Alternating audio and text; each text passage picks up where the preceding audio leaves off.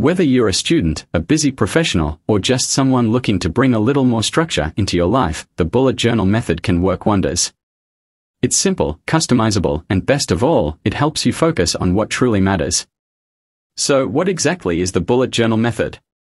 At its core, it's a system designed by Ryder Carroll to help you track the past, organize the present, and plan for the future, all in one place.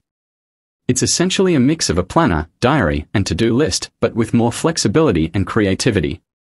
No more getting frustrated with rigid planners that don't fit your needs. Setting up your bullet journal. Now, let's get into how to set up your bullet journal for weekly planning. Don't worry if you're not super artsy, this method is all about what works for you. First, you'll need a blank notebook. Any notebook will do, but dotted or grid paper is ideal for creating layouts. Then, grab your favorite pens, simple black ink is fine, but feel free to get colorful if that's your style. Start with an index page. This will be your table of contents so you can easily find important sections later on. Number your pages as you go. Next, add a future log. This is where you'll jot down events, deadlines, or tasks that are coming up in the next few months. It helps you keep an eye on what's ahead. Then, create your monthly log. This is a calendar for the current month where you can list important dates and events. Keep it simple and easy to glance at. Finally, the weekly spread, this is where the magic happens.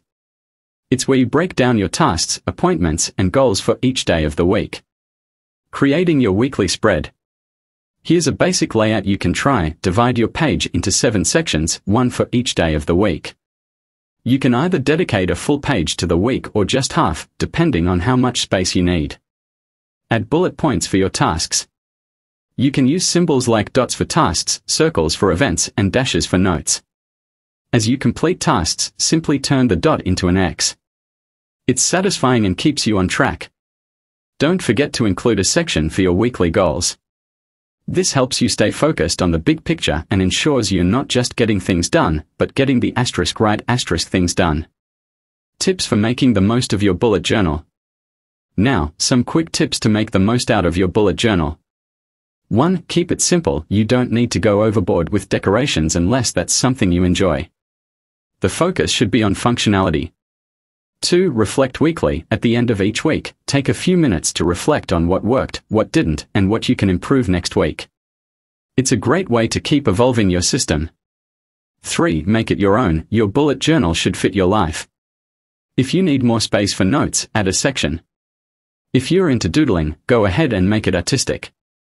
The beauty of this method is its flexibility. And there you have it, a simple yet powerful way to plan your week using the bullet journal method.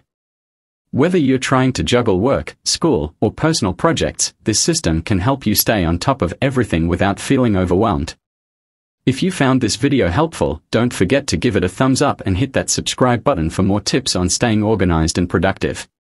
Also, let me know in the comments what's your favorite way to use a bullet journal. I'd love to hear your tips and ideas.